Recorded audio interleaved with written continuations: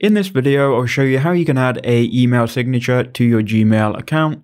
So first, you need to have created your signature. Here is my very simple signature. I created it on Canva. Now, if you're having problems with it being blurry as well, uh, I'll leave a link in the description to a video which will fix that. But once you've got your Canva signature, go to settings in the top right, go to see all settings. Then you can go ahead and scroll down pretty much all the way to the bottom and here you should see signature. Go ahead and click on create new, then give that a name. So I'll just call it test for me. You can create one, give it a name. It doesn't matter. You can change it later. But then you want to go ahead and click on the image box. Now here is your signature. You can create one via text, but if you have one already, click insert image.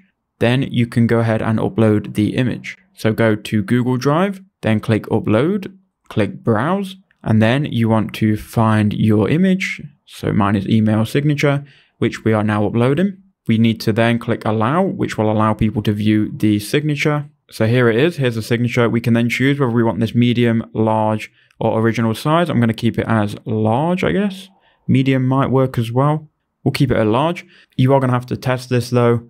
And then here you've got signature defaults for new emails. You can add the signature. Um, if you want them to see a signature, change it to your signature name. And then here on reply, if you want them to see your signature, change it to signature name. Then scroll down and make sure your changes are saved. Then those changes will be saved based on the preferences that you give here. So I hope that helped. Let me know in the comments if it was.